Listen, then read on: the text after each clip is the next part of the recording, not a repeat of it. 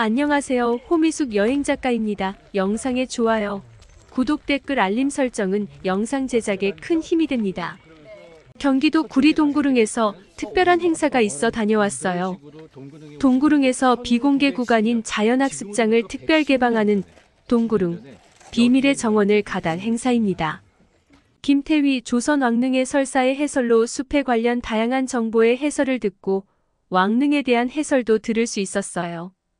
동구릉은 동쪽에 아홉 개의 릉이란 뜻으로 건원릉, 현릉, 목릉, 숭릉, 휘릉, 해릉, 원릉, 경릉, 수릉이 있습니다. 녹음이 울창한 소나무 숲길을 따라가는 길 새소리와 숲바람 소리와 청명하게 맑은 날이라서 더욱 시원하게 느낀 날이었어요. 성수연 한국 풀피리 협회 회장님의 풀피리 연주를 들을 수 있었는데요. 어느 현악기보다 어느 관악기보다도 고운 선율에 놀랄 정도였는데요. 아카시아 나무 이파리를 나눠주고 풀피리를 직접 체험해 봤는데요. 나뭇잎 이파리를 반을 접어 살짝 입술 가운데 대고 바람을 불면 피리 소리가 나기 시작했어요.